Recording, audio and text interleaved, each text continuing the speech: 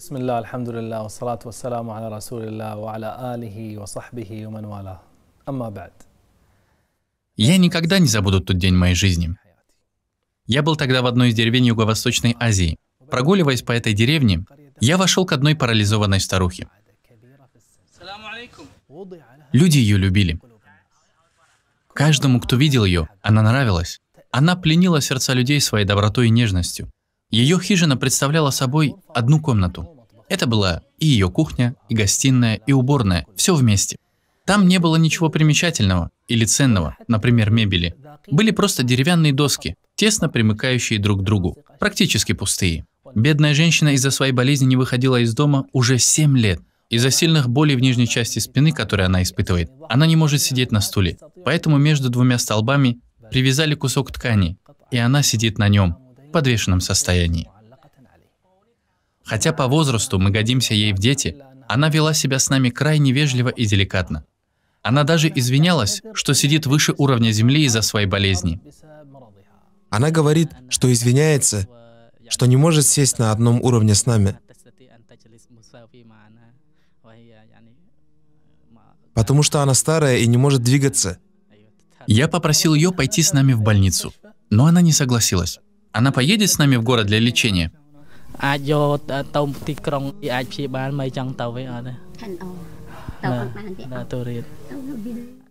Она не может куда-то ехать из-за своей слабости. И она начала плакать.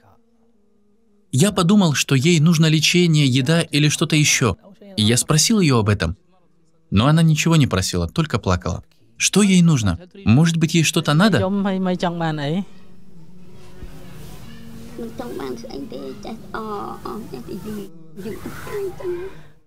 Она ничего не хочет. Она плачет каждый день, ночью и днем. Когда ей грустно, она плачет. Она не была привязана к этому миру. Я спросил ее, что тебе нужно с рынка?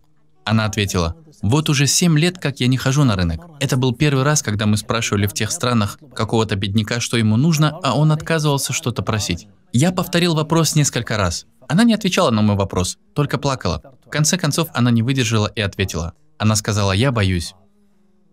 Ты боишься? Почему? Что ее так печалит?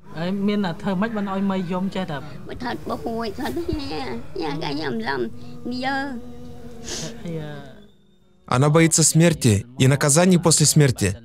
Когда она вспоминает о смерти, она плачет. Она говорит, я боюсь наказания Аллаха. Честно говоря, ее слова потрясли всех нас. Вся съемочная группа растрогалась от ее слов. Она заставила плакать всех присутствующих. Мы не ожидали этого. Я попытался успокоить ее, напомнив о милости Всевышнего Аллаха. Скажи ей, что, иншалла, она отправится к милосердному Господу, к щедрому Господу. Иншалла, Он простит ей и помилует ее.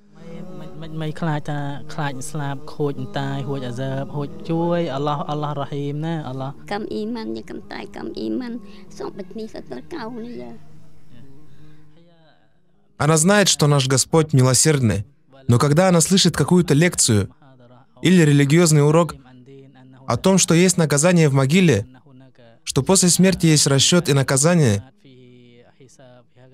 Иногда она печалится и страшится.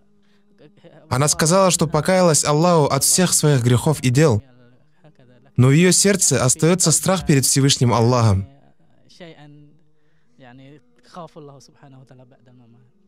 Я пытался дать ей совет, чтобы свое свободное время, которое продолжается весь день, она проводила в поминании Аллаха, зикри и дуа. И я обнаружил, что она и так это делает.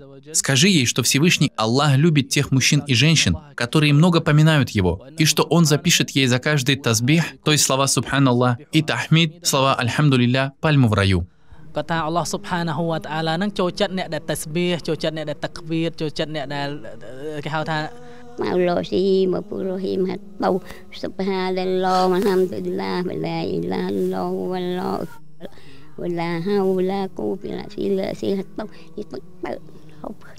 Ежедневно она читает сотни тасбихов, такбиров и тахмидов с целью достичь довольства Всевышнего Аллаха. Она желает получить довольство Всевышнего Аллаха. Субханаллах. Она радовалась каждому хадису о милосердии Всевышнего Аллаха настолько, что улыбалась, когда их слышала. Скажи ей, что Аллах таков, как о нем думает его раб. Если он думает о нем хорошее, Аллах поступит с ним хорошо.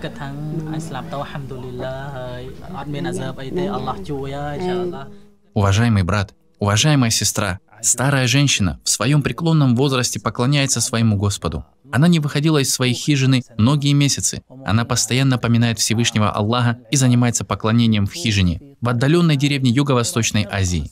Чего же она боится? Разве мы с нашими упущениями или мирскими искушениями, которые вокруг нас, имеем не больше поводов для того, чтобы страшиться Всевышнего Аллаха? Я слышал древние истории о людях из нашей уммы, о том, какой сильный страх они испытывали перед Аллахом, как они отрешались от дуньи и насколько богобоязненными были. Но сегодня я увидел это своими глазами. Если ты считаешь, что ты лучше некоторых других народов только потому, что ты араб, можешь легко читать Коран и знаешь много вещей, связанных с твоей религией, не торопись. Возможно, в судный день ты будешь удивлен тем, что высшие степени в раю займут многие из тех, кто живет дальше нас от исламских земель, и меньше нас понимают религию. Но в теле есть кусок плоти, который, если будет в порядке, то в порядке будет и все тело. Если же он испортится, то испортится и все тело. Этим куском плоти является сердце. Я прошу Всевышнего Аллаха собрать нас вместе со сподвижниками, и прошу Аллаха, чтобы Он сделал нас и вас соседями нашего пророка. Да благословит Аллах его и его семью. Аминь, о Аллах. И хвала Аллаху, Господу миров.